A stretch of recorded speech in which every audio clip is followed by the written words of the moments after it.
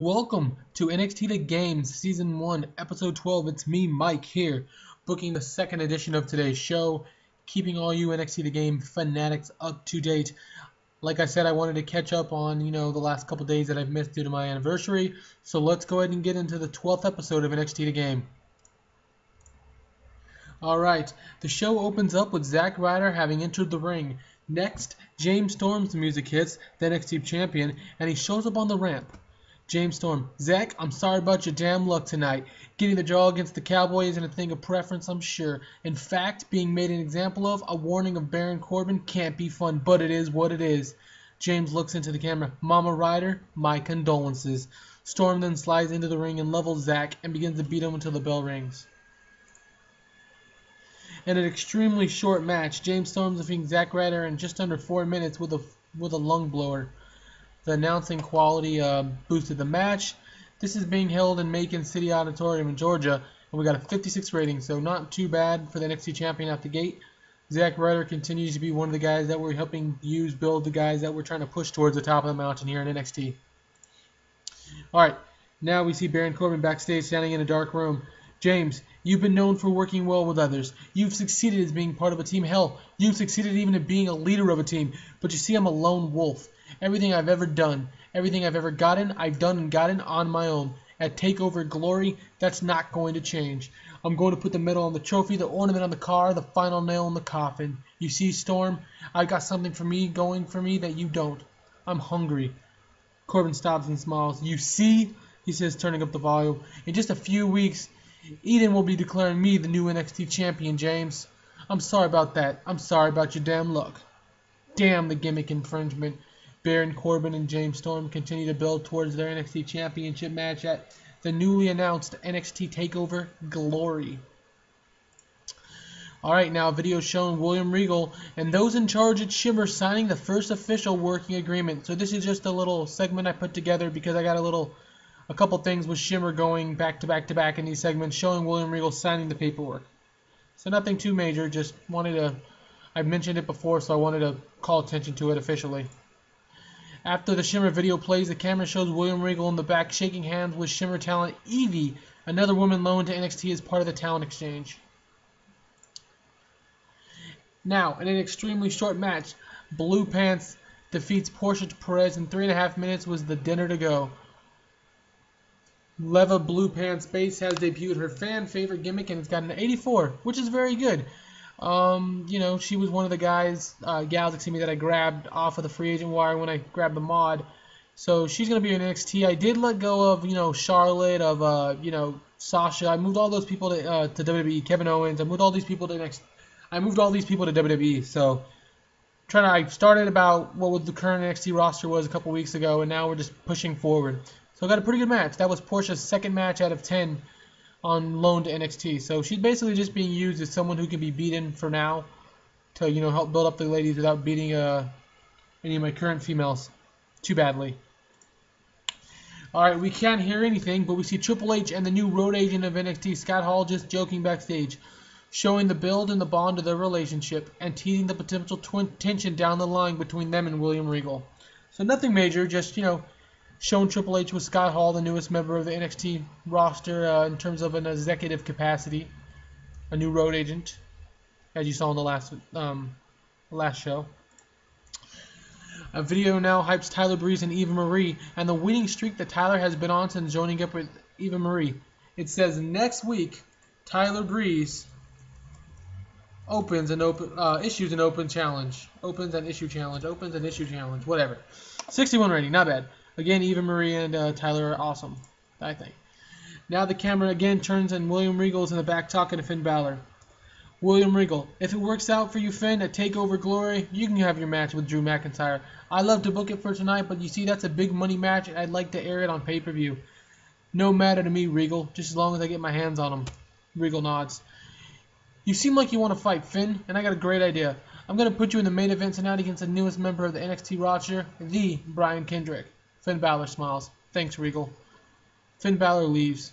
Regal smiles as well. And again, I'm just trying to push out with the current NXT roster. Um, going forward, though, it's going to be all just different, different, uh, you know, away from the beaten path for the NXT roster. Kendrick wasn't a member of the roster, but he's been, on a couple shows for NXT, so I wanted to bring him in. All right, next. In a match that had average crowd reaction and some decent in reaction, BAMF, the Blake and Murphy factor. The Blake, Alexa, and Murphy factor defeated Carmella and Enzo and Colin Cassady in 10 minutes when Alexa Bliss defeated Carmella by pinfall. The performance of Enzo Amore stood out as being good. That's fantastic, Enzo. You've been pretty negative in terms of uh, your pairing with Carmella lately, so I'm glad you decided to step up your game. The realest dudes in the room storyline has advanced, and the commentary boosted the uh, the match. The camera now shows the announced a little while ago Brian Kendrick in the back. Brian Kendrick. You see, when Regal brought me down to Florida, down to NXT, he brought me here because he needed someone who could set a good example. Kendrick pauses. But little did he know I had no interest in setting a good example. I'm a loose cannon.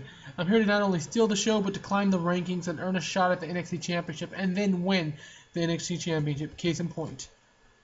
Fantastic. He got a zero for his gimmick rating. I don't know if it wasn't, you know, good for him or what, but I checked before and it didn't say he, had, he said he was going to have no problems working the gimmick, but his arrow's not great. Um, all right then. Brian Kendrick, uh, that was awful. But again, as you guys have seen, as I've uh, you know built my promotion out, I, I like to put an emphasis just on very, very uh, back in the day like you know hype promos. Just I like when wrestlers talk about matches and make them important. I like wrestling matches that have some importance to them. All right, Samoa Joe and Rhino are backstage, and an argument breaks out, and they start to brawl with one another. All the road agents and staff have to pull them apart. I don't know what that's about, but Rhino and Samoa Joe just got into a verbal altercation, and then uh, what looks like a brawl. So, uh, that's not good. Now, finally, in an extremely short match, Dana Brooke and Emma defeated Bayley and Candice LeRae when Dana Brooke defeated Bayley by a pinfall with a bulldog, following interference from the debuting Gail Kim. This match also had a lot of interference as Gail Kim targeted LeRae, and she also targeted Bayley with distraction. Um, fantastic. Gail Kim got a, you know, as the, complete opposite. Other Kendrick got a zero for his loose cannon, but the bossy gimmick for Gail Kim got a 100. Fantastic. That is amazing. Bayley shown in this match. That's great. After the debut, the debuting Gail Kim begins to wail on both Candice LeRae and Bayley as a three on one, three on two occurs. The fans boo as they really lay it in with all three holding hands in the middle of the ring together which causes Renee on commentary to ask, What is it that ties Dana and Emma to Gail Kim? What's the deal? What's going on? Why did Gail Kim just attack these two lovely ladies? We're not sure. But the newest woman in the MX, NXT roster, Gail Kim. I was actually looking for you know a high high ranking uh, female, so uh, now a music video hyping Enzo Amore and Colin Cassady even after their match. So I wanted to promote them a little bit further as NXT Tag Team Champions. We're looking for a match for them in NXT TakeOver Glory. Does Blake and Murphy get another title shot? I don't know. You know, Carmella got pinned. So we'll see. The camera now finds Drew McIntyre backstage with Byron Saxton again. Drew, thanks for joining me again this week. Drew nods, blowing bubbles with his gum. We just found out that at TakeOver Glory you're going one on one with none other than Finn Balor, McIntyre. Balor has so much angered him, but I guess it's his heritage. You see us Scots aren't angry, he pauses. Let me rephrase. We're only angry when it's warranted, and I mean, come on, that's not very often. Before you ask another stupid question, Byron, let me say this. If Finn wanted a match with the chosen one, all he had to do was ask. He didn't have to run the daddy. He did, whatever. At TakeOver Glory, he gets his match. That's fine. I just hope he's going to get what he asked for. The Finn and Drew storyline has advanced. So building up to a Drew McIntyre Finn Balor match at uh, NXT TakeOver Glory. We also have announced, you know, the Baron Corbin versus James Storm match, and another match which will be revealed soon.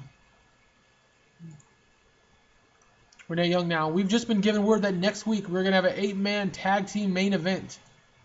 Next week we're going to see NXT champion James Storm team with Drew McIntyre, Solomon Crowe, and Rhino to take on Baron Corbin, Finn Balor, Apollo Crews, and a Samoa Joe. And if you can't tell by now, after having watched the last three or four shows after Takeover Eden, they're all confirmed. James Storm's taking on Baron Corbin at TakeOver. Uh, Drew McIntyre's taking on Balor, Crews, and Crowe are going one-on-one, and now Rhino and Samoa Joe look to be heading that direction as well. As you can see down below, the Story About You Down Luck storyline has advanced, the Crow and the Crews Control storyline has advanced, the Finn and Drew storyline has advanced, and it looks like we are heading away to a very, very full NXT TakeOver Glory card. Now, main event. Had some good action in Evercheat. Brian Kendrick defeated Finn Balor in 12:39 after a distraction from Drew McIntyre. That's right, Drew McIntyre distracted Finn Balor, and the Brian Kendrick gets his victory in a debut. And that's NXT Takeover tonight. They don't have enough interesting storylines again.